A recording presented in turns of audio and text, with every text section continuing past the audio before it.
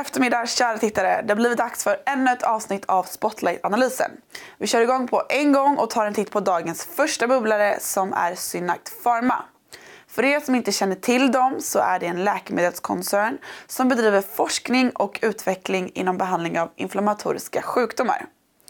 Än så länge så redovisar bolaget inga intäkter utan bedriver kliniska studier inom bland annat aktivt artrit, alltså ledgångsreumatism. De första resultaten från den studien väntas i början av 2020 och när Nyhetsbyrån Direkt pratade med forskningschefen Thomas Jonassen i samband med hans presentation vid Redeyes Life Science i tisdags så sa han att Synact Pharma hoppas på att ingå ett partnerskap kring läkemedelskandidaten AP1189 för behandling av ledgångsreumatism.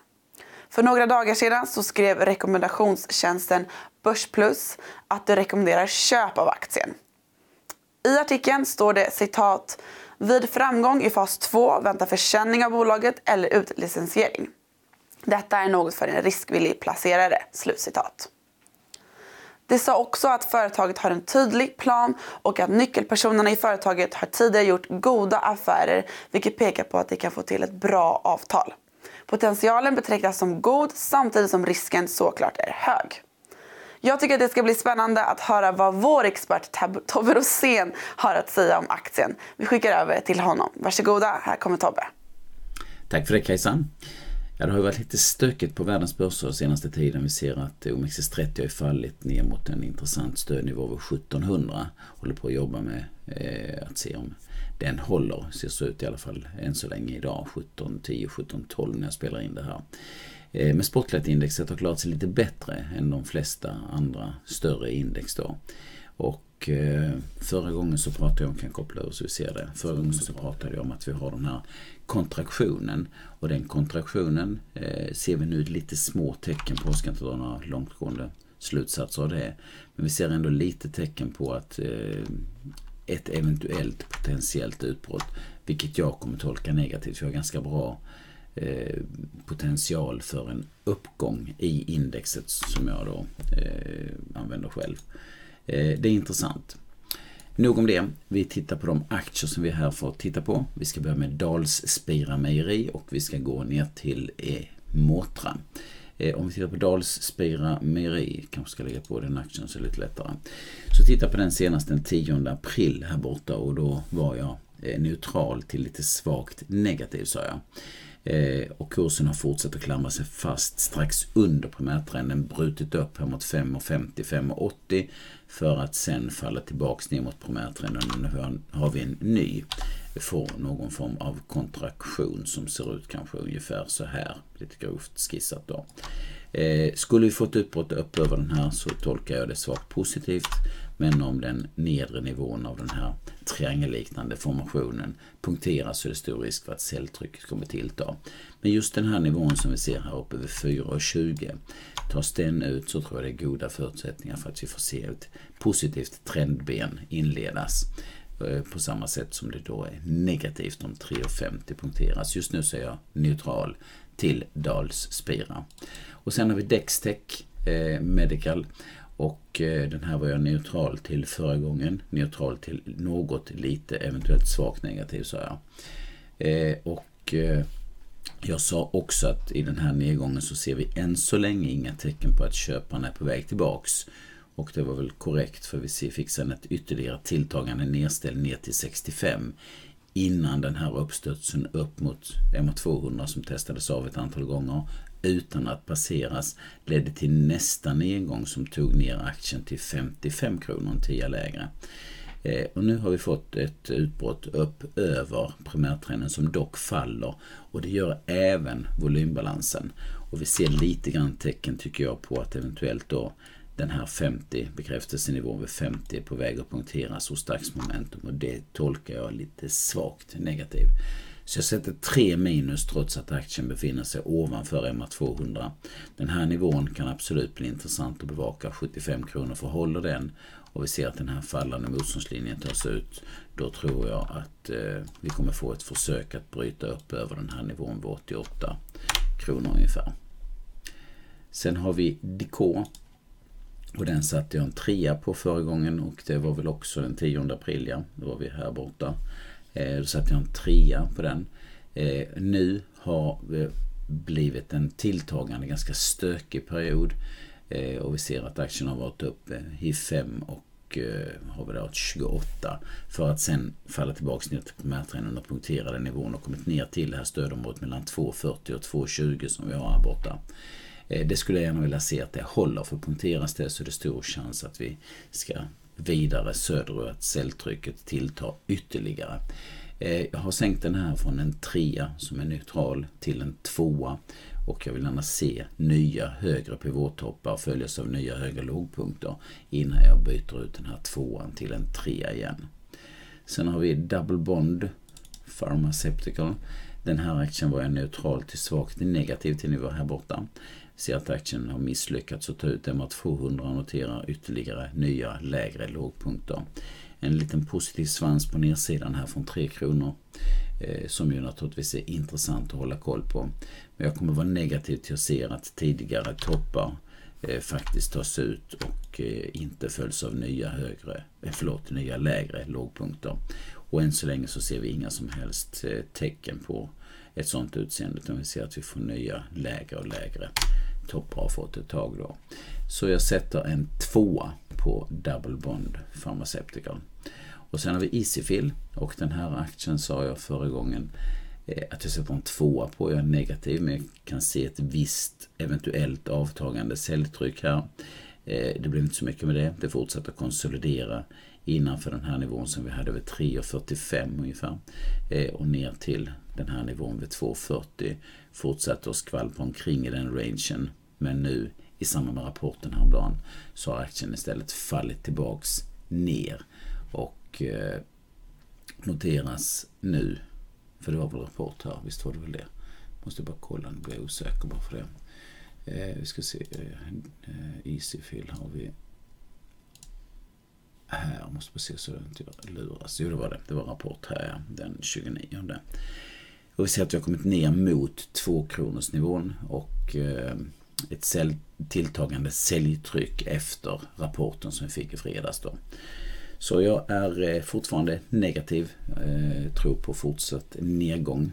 Skulle vi återigen då se att motståndsnivåerna här borta eh, vid i första hand 2,35 någonstans tas ut och kanske följs över ny högre lågpunkt. Då kan det vara en första signal för att vi eventuellt eh, ser att en, en uppstuds och kanske då en uppgångsfas inleds. Eh, dagsmomentum är nere på extremt låga nivåer och det är inte helt ovanligt att vi får uppstudsar från de här nivåerna. Om då uppstudsarna uteblir när vi har en bra edge för det så är det ju en ytterligare varningssignal. Sen har vi Eat Good. Sweden tror jag det heter efter. mig. Eat Good står det bara. Eh, jag är, eller var, svagt negativ. Den här tittar jag på senast också den tionde här borta då. Jag var svagt negativ.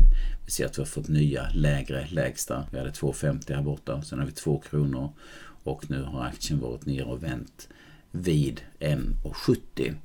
Och eh, fick en hammer liknande candle här. Kanske att detta kan mejsla ut nedgången.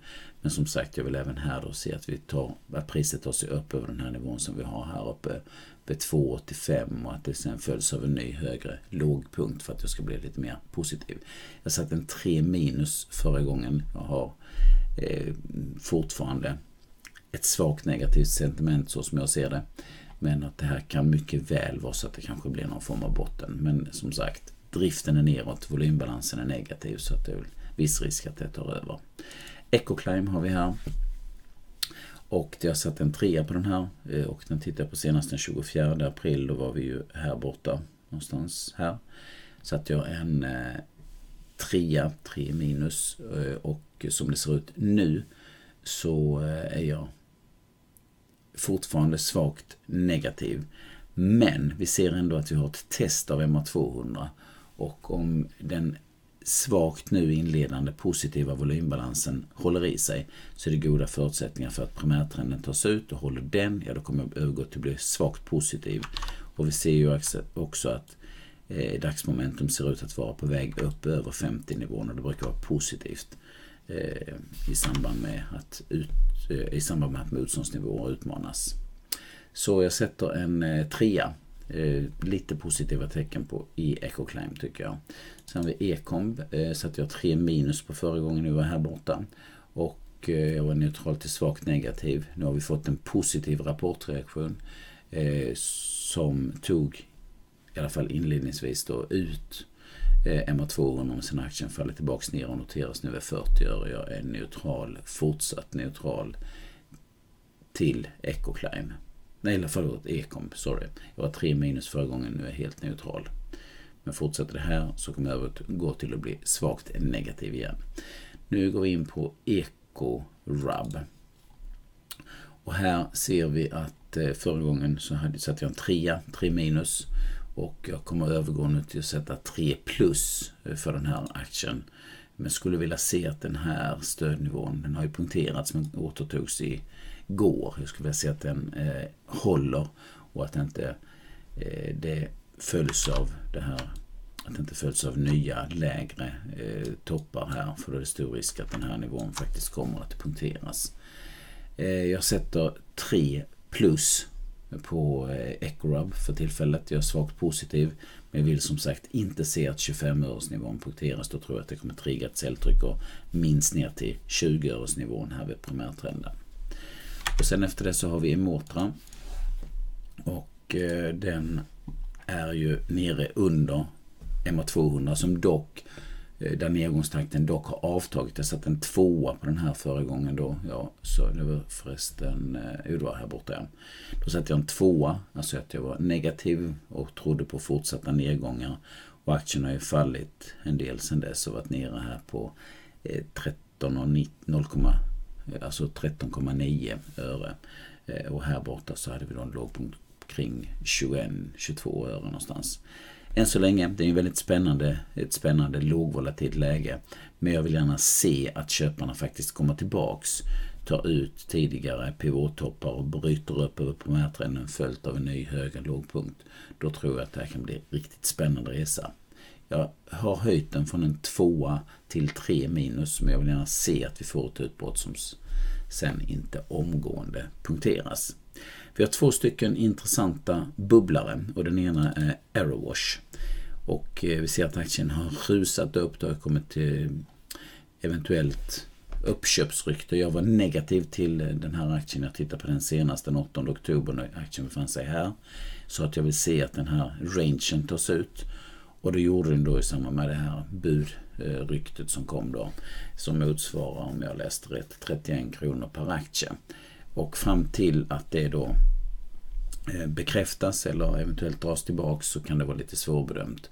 Angeläget att den här nivån som vi ser här borta eh, vid 18,75 att den håller. För punkteras den så är det nog en viss risk för att börja gå mot en gap-täppning. Eh, jag tycker för fortfarande då med, efter den här eh, uppstudsen att aktien ser spännande ut. Men det är ju alltid lurigt. Det hänger väldigt mycket på när det är ett sånt viktigt besked. Så hänger det mycket på vad som kommer om det, om det bekräftas eller avslås då. Vi får se vilket det blir. Jag har i alla fall höjt den. För det vi ser nu är än så länge positivt. Jag har höjt den från en trea till en fyra. Det är för tillfället större chans att vi kommer få se en fortsatt uppgång än att gapet kommer att täppas till. Men som sagt, det kan snabbt förändras. Det var då Airwash och sen har vi en bubblare till och det är Synakt. Och den ser också intressant ut. Jag satte en tvåa på den förra gången jag tittade på den den eh, 11 oktober. Då vi här, ja det stämmer ju. Då hade vi en eh, fallande trendkanal. Priset var under både primärtrenden MA50 och taket i den här fallande kanalen som vi hade här. När det taket togs ut så fick vi en uppgång upp till ungefär 10,50 en eh, ny högre lågpunkt och nu så eh, får vi ytterligare en liten rekyl efter den här branta uppstudsen som vi fick här eh, i samband med, eller strax efter, eh, en höjd köprek tror jag det var, eller en höjd rek åtminstone i börs plus. Eh, vi har ett tufft motståndsområde mellan 10,50 och 12,50. Eh, håller 8,70 här nere. Den här nivån som vi har här så är det goda chanser för att aktien kommer att dra vidare uppåt. Jag är positiv och har höjt den faktiskt från en tvåa Eh, som jag hade den 11 oktober till en 4. Men som sagt, vi vill inte se att rekylen blir allt för djup här så den börjar etablera sig under 20 dagars glidande medelvärde. Då tror jag siktet ställs in mot i första hand primärtrenden. Och med de orden så skickar jag ljud och bild över till dig i Stockholm igen Kajsa. Tack så mycket för det Tobbe. Dagens andra bolag är Aerowash. Vi har snackat om dem tidigare i programmet och de utvecklar produkter och system för tvättning av flygplan. En av aktieägarna i det här bolaget är bland annat kriminologen och TV4-profilen GW Persson. Men det var inte det jag tänkte prata om idag. Det jag läste för några dagar sedan var att Aerowash tänker sälja sina dotterbolag för 16 miljoner dollar.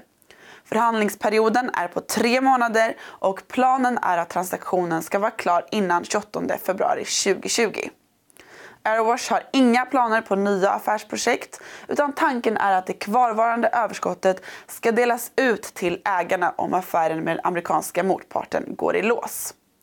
När nyhetsbyrån Direkt frågade VD Niklas Adler om hur säker han är på att affären går i lås så sa han citat “Nu ska vi inleda en process. Styrelsen har ju bedömt att det är mer sannolikt att det kommer att gå i mål än att vi inte gör det. Men det finns inga garantier förrän man skrivit under och fått betalt.” Slutcitat. Ja, men ni som äger aktier i Airwash sitter förmodligen och hoppas på att affären går igenom och jag håller självklart tummarna med er. Vi blir jätteglada när ni klickar tumme upp på programmet så fortsätt gärna med det och prenumerera på kanalen om ni inte redan gör det. Spotlight-analysen är tillbaka om två veckor. Tack för mig och på återseende.